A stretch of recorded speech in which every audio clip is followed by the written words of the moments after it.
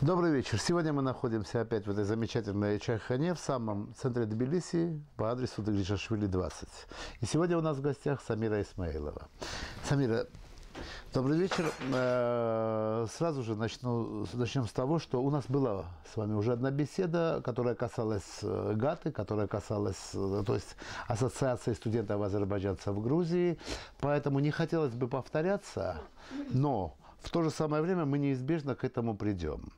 И, э, в общем-то, главной темой нашей беседы мне бы хотелось бы обозначить ее следующим образом. Э, Традиция и современность у азербайджанцев в Грузии и в Грузии вообще. В общем, смотрите, как интересно получается. Э, За последние там, 10-15 лет в Грузии действительно произошли в сознании революционные изменения. Однако мы часто слышим, что вот Многие традиции мешают, многие традиции, скажем так, являются тормозом и так далее. Вот по вашему опыту, а он, несмотря на то, что вы очень молоды, он у вас очень большой, э, какие бы традиции общегрузинские вы бы обозначили как э, тормозящие, скажем так, развитие страны, тормозящее развитие нашего общества?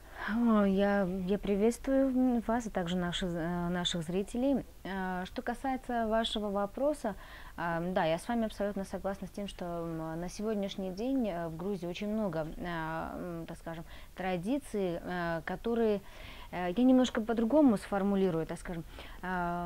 У нас там, где э, начинаются традиции или же вот э, уже то, что переходит в стереотипы, у нас немножко уже эта грань абсолютно по- потеряна.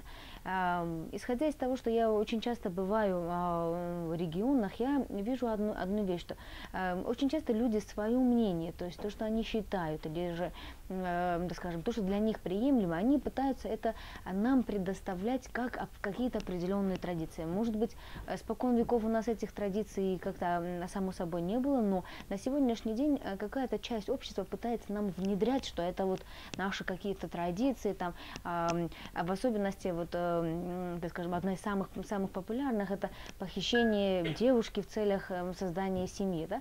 А, Это так скажем, очень часто говорят, что это, это а, наш- наша традиция, да, очень красивая тра- традиция для, для Кавказа, но это не означает, что это против чьей-то воли должно быть, или же, а, там, не знаю, то, что уже переходит в опреде- определенные, так скажем, черты и нарушаются это, прав- права человека, да? Самира, я прошу прощения, если мы про похищение девушек, я вам скажу, что лет 20 назад девушек похищали, и, но чаще всего по взаимному желанию. Желанию, да. По- на примере Аджари, я вам скажу. Лет 20 назад да, похищение было, ну, как бы, действительно, вот как в кавказской традиции, красивые обычаи. Э, Сейчас, э, я скажу, что скорее девушки похищают, чем девушек похищают. Ну, я просто, м, так скажем, Привели при- привела э, пример, но э, само собой на сегодняшний день я думаю, что э, в грузинском обществе очень, очень много отпечатков, которые, э, э, исходя, кто-то обосновываясь на, на, на традициях, это, так скажем, э, пытается вне- внедрять в, в обществе, что вот это мы делаем, потому что это традиция, э, вот, э, не знаю, там, очень, очень много, много чего. И, и это само собой а, тормозит. Излишние какие-то факторы, когда человек реально сам этого не, не понимает, зачем он делает или почему это, почему это делать, для чего, с какой целью это делать, конечно же, это все, так скажем, меня, мешает в определенной а, степени развития. Но в то же время у нас на Кавказе, в частности в Грузии, очень много красивых а, традиций, которые нужно, а, нужно соблюдать и нужно, так скажем, придерживаться этого. Ну это понятно. То есть давайте красивые традиции, допустим, мудрые традиции оставим Да. в сторону. И вы очень хорошо сказали, это не традиции, это вот стереотипы, которые мешают и которые нужно преодолевать. Как вы считаете, э, существует такое мнение, что у азербайджанцев в Грузии в сред- э, этих стереотипов больше, чем в среднем по стране? Это действительно так? Ам, Я, со- я с вами согласна.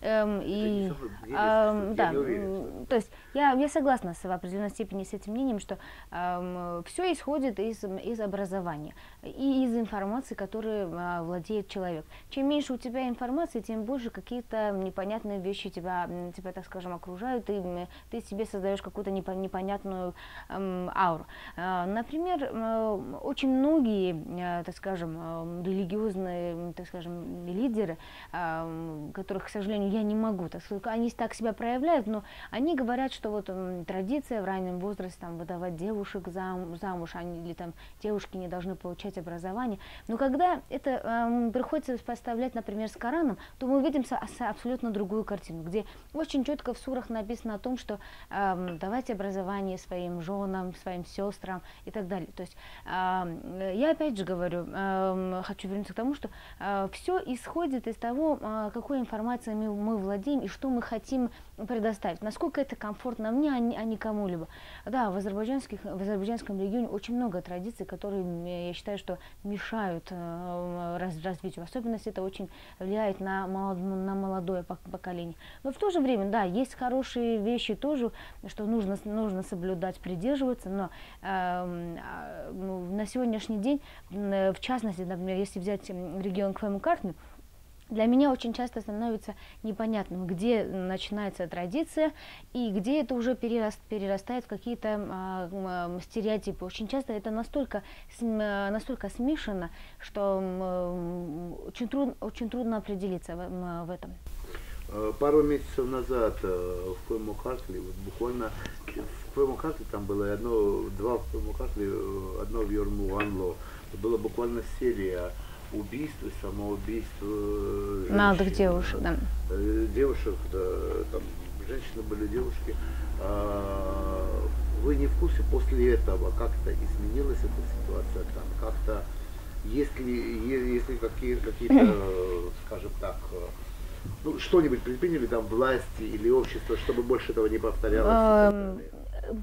Как я, как я знаю, на, на начальном этапе, когда, когда тема была довольно-таки актуальной, аппарат омбудсмена вмешался, начали, начали интересоваться всем этим вопросом, но как таково яркая реакция со стороны власти, то есть действий каких-то конкретных, а, особо, особо не было. А я думаю, что в, в таком случае власть должна играть очень, очень большую роль, потому что да, да, всегда должен наказываться тот человек, который делает противозаконно что, что-либо. Это мы в данном случае, в данных случаях случаях этих примеров мы имеем э, отношение с, с личной жизнью чьей-то. И это не нам, не нам рассуждать и не нам, так скажем, э, выносить вердикт, что и как с этими людьми поступать. Для этого есть, есть закон, есть какие-то нормальные нормы, каким образом можно, могут в семье разобраться со всеми этими но а, власть недостаточно, я думаю, что реагирует и недостаточно вмешивается во все эти, а, во все эти процессы. Когда человек остается ненаказуемым, следовательно, это принимает какой-то систематический характер. Я думаю, поэтому и было, что не только вот в этих азербайджанских, так скажем, семьях случилось это, это несчастье, но э, были примеры, когда, допустим, в других, э, в селах, в грузинских селах тоже были а, подобные случаи. Это означает, что власть в определенной степени расслаблена, как-то относится э, неадекватно к, ситуации, и поэтому случаются подобные вещи. Ну да, в принципе, конечно, э, скажем так, э, то, что власти в данном случае несут ответственность, это несомненно. Общество всегда, так скажем, свое мнение навязывает, само собой. Общество всегда будет говорить. Это множество людей, которые всегда будут говорить. Но когда все это еще и плюс остается, а, им практически дается полное право, они, они чувствуют, что они имеют полное право говорить, вмешиваться и, и так скажем, наказывать, наказывать, что они могут... Эм, у нас есть в стране суд, у нас есть в стране нормы, мы живем в более-менее демократичной стране, поэтому нужно в рамках закона все это, и нужно общество к этому приучать. Когда будет один, два, три примера, то уже люди э, начнут привязываться к этому и будут понимать, что есть закон. Например, раньше было очень э, актуально, когда молодых девушек, э, так скажем, даже несовершеннолетних девушек в азербайджанских э, регионах похищали с целью создания создания, создания семьи. Но после революции РОС, когда уже как-то э, изменил, изменили закон, начали это все контроль, контролировать, то есть начал, э, были регуляции, были конкретные, э, наказывали как финансово, так и арестовывали этих людей, кто принимал, не тот, кто похищал, но и тот, кто вообще принимал все, во всех этих процессах участие. Я могу сказать, что э, это, э, эти процессы очень сильно со сократились. Э, это означает, что когда власть э, хочет и контролирует, то практически можно избежать очень, очень многого. Но когда это вот так на произвол судьба остается, конечно же, будут большие проблемы. Смотрите, вот э, три периода возьмем, э, даже четыре получается. Первый период это период советской власти, mm. второй период это 90-е годы, потом революция РОС и вот сейчас после 2012 года. При советской власти, понятно, что вы не помните, но вы наверняка это знаете. Да. При советской власти тогда состояние вот законности и так называемой традиции насколько было? То есть Тогда насколько соблюдались законы, если вы um, То есть то, что я слышу, а, так скажем, от своей семьи, от близких, по, по их рассказам, конечно, я не могу всего этого помнить и говорить. говорить. Да, а, в определенной степени, если они чем-то были довольны с экономической точки зрения, но что касается вот традиций, там, как религиозных, так и на, национальных традиций, всегда апелляция, то есть все делают акцент на то, что очень трудно было это все, это все соблюдать. У меня, например, дедушка был очень, очень верующий. И до сей поры э, в селе у нас знают, ну, все знают о том, что он был единственный, кто молился. И когда вот эти собрания религиозных лиц или кто был заинтересован, он проводил тайком в подвале. То есть это уже означает, что какие-то... Это вы говорите о позитиве. А у, не... о, о мракобесии стереотипах как было так? Um, не, не могу сказать. Вот. Хорошо, 90-е годы. Конечно, это, я считаю, что в истории азербайджанцев в Грузии один из самых таких тяжелых периодов, когда не то, что, так скажем, как соблюдать какие-то традиции или там уже различать, где традиции, где стереотип, что, где во что а, переходит, был беспредел не только для азербайджанцев Грузии, но и для, в общем, а, во всей Грузии э, творился беспорядок, и исходя из, из этой черты, конечно, не очень-то хорошо э, жилось азербайджан, азербайджанцам Грузии. И тем более, какой, э, так скажем, какой отпечаток это все э, принимало. Вы, вы знаете, что э, раньше довольно-таки много азербайджанцев, до полмиллиона азербайджанцев жило в Грузии. В 90-е годы практически азербайджанцы начали, э, начали покидать Грузию. То есть это означает, что им не было комфортно. Э, и было очень много веских причин на то, что они э, на то, что они покидали территорию Грузии. Это, и это показывает, что э, где-то в определенной степени там э, те же самые традиции, может быть, не могли соблюдать, или же Нет, не давайте, только. Давайте мы поговорим о стереотипах, потому что традиции в хорошем смысле да. слова, я имел в виду традиции. Вот стереотипы и вот это мракобесие, которое существует и в других регионах Грузии, но в данном случае мы говорим да. о Картли, то есть тогда безнаказанность поражала, порождала практически мракобесие. Да, конечно. Ну вот эти стереотипы, они работали полностью. Революция рос, вы уже сказали о том, что тогда законности стало побольше. Угу. Что сейчас? Сейчас практически, э, я скажу так, после революции рос у азербайджанцев появил, появилось более, так скажем, спокойствие. Они начали понимать, что они являются полноценными гражданами Грузии, и что они могут найти себя в, в этом обществе, что они являются неотъемлемой частью этого общества. Эм, и за 10 лет или за 9 лет, так скажем, они начали вкладываться, начали максимально чувствовать, э, чувствовать этот, этот комфорт. А, но после смены, смены властей, когда, скажем, как мы уже с вами говорили, в 90-е годы, когда определенные лица, которые, скажем, оказывали давление или и так далее, эти люди сегодня оказываются, так скажем, у власти, у них, конечно же... Мы с вами об этом говорили на грузинском, да. версии, да. То есть это, это, это получается, что у них опять получается э, беспокойство и получается большой дискомфорт. Это означает, что ситуация опять дестабилизируется. И чем это закончится, к сожалению... Давайте, давайте по-честному. Вот смотрите, вот я живу, я живу, берем модель, я живу в моей жизни со своими стереотипами, со своими да. тараканами в голове и так далее. Приходит э, революция рост, приходят националы, начинают у меня убивать в голове этих тараканов, э, если я что-то совершаю противозаконное, но я считаю, что вот, согласно моим стереотипам я делаю это правильно, меня могут даже посадить в тюрьму, приходят мечтатели, угу. которые отпускают вожжи, вот давайте с этой точки зрения посмотрим. И я опять могу жить согласно своим вот этим назовем традициям. Да? И что лучше для меня, вот как для члена общества, в данном случае для члена, для жителя среднестатистического азербайджанского села. Националы, которые меня э, давят и жмут за беззаконие, или то, что я живу так, как мне хочется? А, ну, знаете, э, я, я отвечу вам таким образом, что э, да, конечно, э, идеальной власти никогда не бывает, это сам, само собой. Что касается национального движения, почему сейчас, находясь, эта партия находится в, в оппозиции, несмотря на это, у, среди азербайджанцев они имеют очень много сторонников. Вот почему? А, вот потому что наказывали же не просто так, да? Наказывали тех, кто был виноват.